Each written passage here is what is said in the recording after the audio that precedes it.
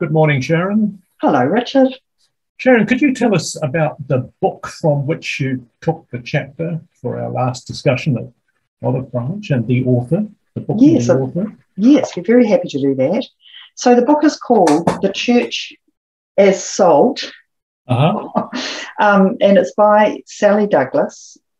And um, I came across Sally Douglas um, through a weekly lectionary reading podcast called By the Well dot com dot, dot au. I'd, I'd really recommend it. Mm. And it's um, um, run by um, people out of Pilgrim Theological College, which I understand is in Melbourne, and it looks at the lectionary readings for each week. And so I heard Sally Douglas on that and enjoyed hearing what she had to say. She's a very interesting person. She's the minister at a, a Richmond Uniting Church in Melbourne.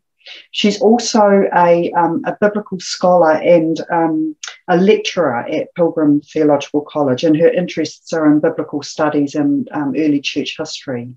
Mm. Uh, and yes, she published this book, The Church as Salt, and uh, it's really about, well, the subtitle is Becoming the Community Jesus Speaks About. And she plays with that, um, the metaphor of the, the Jesus community being salt of the world.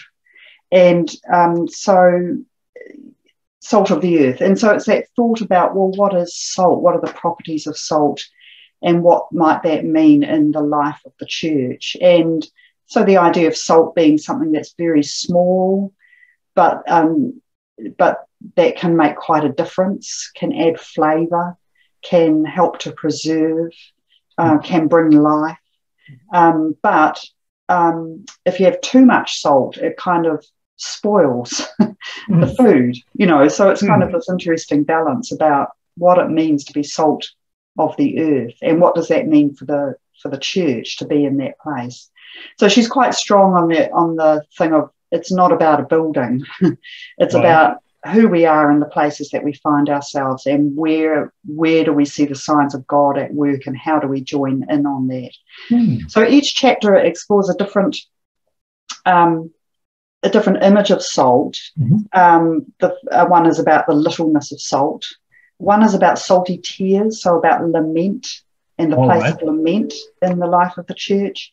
Uh, the chapter we looked at was dark, salty wounds, which mm. looks about looks at that idea of the growth that takes place in this dark, salty, vulnerable place, and explores some of the stories in the in the biblical narrative of women who um, give birth and sort of um, not expecting to, mm-hmm. you know, mm-hmm. older women who think they're not able to give birth anymore, Sarah and Hannah, um, Elizabeth, but also Mary and her vulnerability as a young unmarried woman. So that mm. you know this idea of vulnerability um, around that, what does it mean to bring things to birth um, in the communities of which we're a part?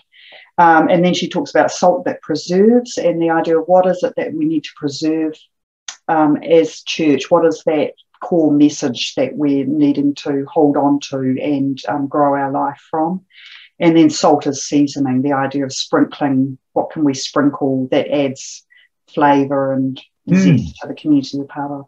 Um, and she mixes them with um, each chapter is mixed with um, stories from within the Uniting Church of either congregations or church leaders that are doing things mm-hmm. Um, that weave into the narrative she's telling.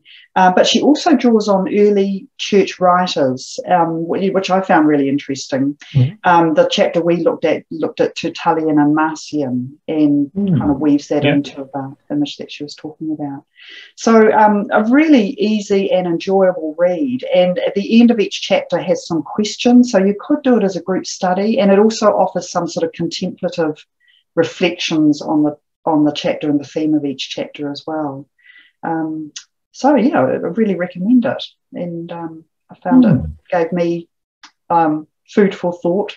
Yeah. Uh, oh. um, but yeah, I think it would be a good thing for others to to read and reflect on as well. Mm. Oh, kia ora, Sharon. Thank you very much for that. Um, we'll put some lines on the screen, but just to catch that website, By the Well. Oh, yes, right? yes, bythewell.com.au. So that's right. the weekly um, lectionary podcast. Right. Um, and the book itself um, uh, was published in Australia by Coventry Press. Right. Yeah. The Church as Salt. The Church as Salt by Sally, Sally Douglas. Douglas. That's great, Sharon. Thank you very much indeed. You're welcome. Okay. See you again soon. Okay.